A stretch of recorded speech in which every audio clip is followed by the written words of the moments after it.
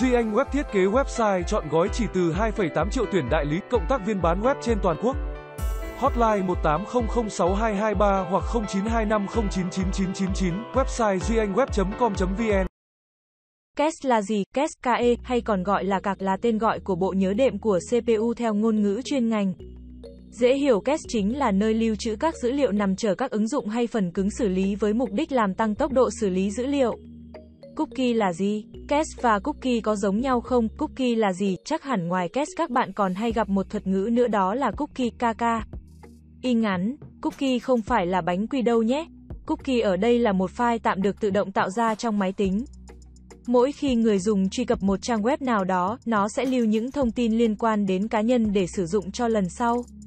Phân biệt cookie và cache Cookie và cache đều được dùng để lưu trữ tạm một lượng thông tin cần thiết nhưng một cái là file cookie. Một cái là bộ nhớ đệm cache nên hai khái niệm là riêng biệt tuy nhiên, chúng ta cần xét về mặt thực tế để thấy tường minh hơn.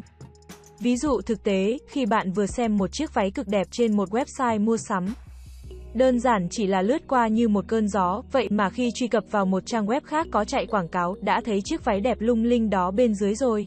Duy Anh Web thiết kế website chọn gói chỉ từ 2,8 triệu tuyển đại lý, cộng tác viên bán web trên toàn quốc. Hotline 18006223 hoặc 0925099999, website duyanhweb.com.vn. Đó là do cookie đã ghi lại và các ứng dụng dựa vào cookie để biết được nhu cầu của bạn. Vậy nên một điều vô cùng quan trọng là đừng bao giờ lưu trữ những thông tin quan trọng yêu cầu tính bảo mật cao vào cookie. Nó hoàn toàn có thể sửa đổi và bị đánh cắp, thậm chí có thể lợi dụng điều này để tấn công website của bạn. Lần đầu khi bạn truy cập vào một trang web có rất nhiều hình ảnh, bạn mất khoảng 1 S để lốt xong trang. Nhưng nhờ có bộ nhớ cache, thời gian để bạn lốt lại trang có thể gần như là ngay lập tức. Bởi cache là bộ nhớ đệm, vùng lưu trữ tạm thời trong máy tính. Nó khác với cookie ở chỗ thông tin lưu trữ ở đây là các tài liệu web. Các hình ảnh, các video, HTML, xét về mặt thời gian lưu trữ, mỗi cookie thường có khoảng thời gian tam ao nhất định do lập trình viên xác định trước. Những thông tin được lưu vào cookie ví dụ như thao tác người dùng, tần suất vào website, thời gian truy cập. Tất cả đều là những thông tin mang tính tạm thời và được lưu trong một khoảng thời gian ngắn. Bộ nhớ cache sẽ được lưu trữ cho đến khi bạn tự tay xóa nó đi.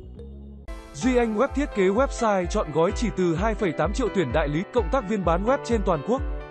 Hotline 18006223 hoặc 0925099999, website duyanhweb.com.vn.